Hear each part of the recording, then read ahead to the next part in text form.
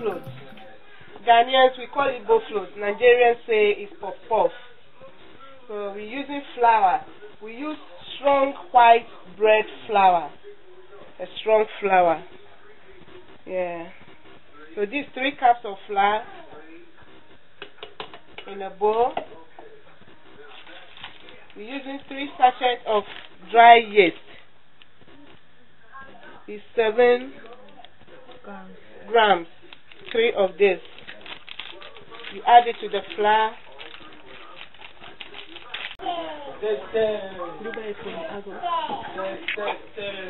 So this is your flour, three cups of flour, one cup sugar, and three sachets of dry yeast.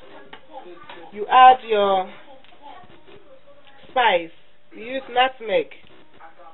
And if you have vanilla essence, you can also use it. About half teaspoon of the nutmeg.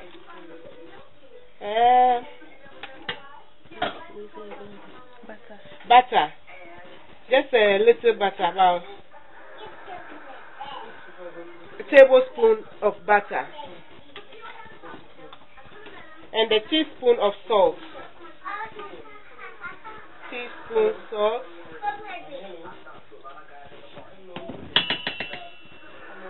Okay. Your flour, your nutmeg, margarine, and your dry yeast. You rub in the dry ingredients together in a bowl. You rub the butter in. Mix it well. Rub the butter in nicely. Now you add lukewarm water. So you're going to use your hand to mix it. And if you add too much hot water, it kills the yeast. So you you add gradually.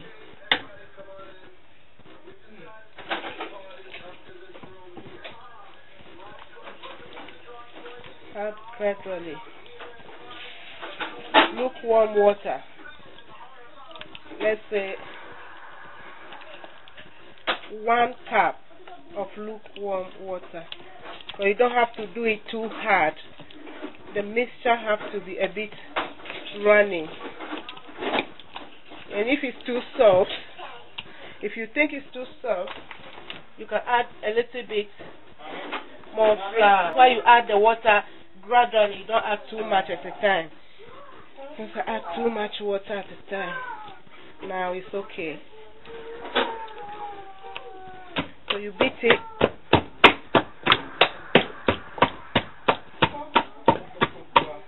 See the texture?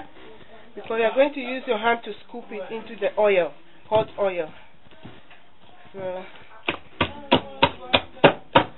beat it well.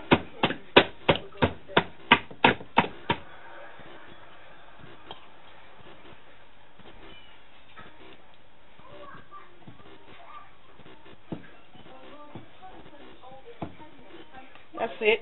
And then you cover the mixture with a damp cloth and leave it to stand for let's say half an hour, 20 to 30 minutes for the dough to double in size. Cloth.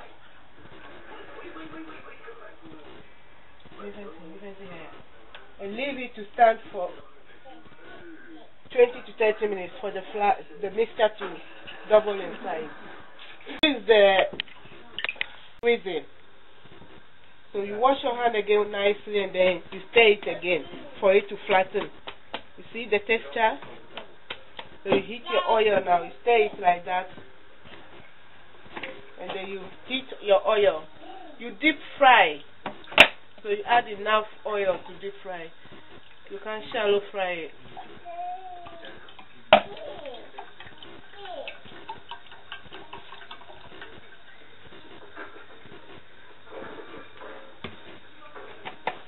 And then you leave the oil to heat. Mm. Now my vegetable oil is ready. It's hot.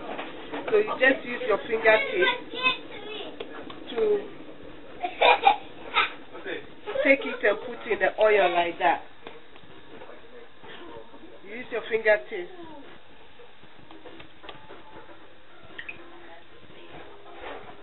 To scoop it into the oil. The oil needs to be very hot, if not the, the puff puff will go very soggy. Uncle, where did you get this card from?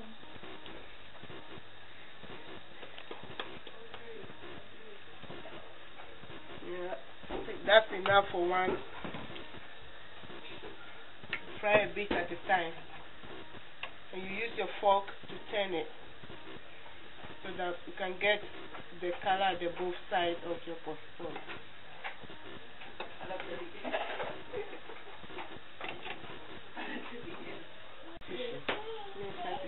You keep turning till both sides get golden brown and you know that it's ready. If you are not sure, you just if the color go very brown, golden brown, just take one out, open it, and see if if it's cooked through.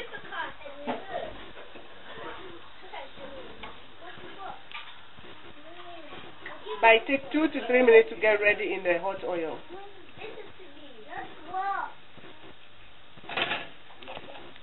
This is the puff puff. You see the color? Nice golden brown. It's ready. You leave it to cool. You put it in a strainer to drip the excess oil.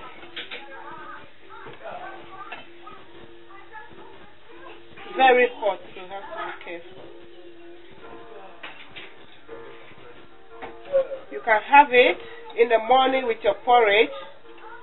Favorite, uh, we call it Hausa cocoa. It goes very well with Hausa cocoa. Once again, I'm scooping it into the oil with my fingertips. If it goes very sticky, put your fingertips in cold water. Do it to me, Henry. Here we go. Henry. Outside to go Puff puff.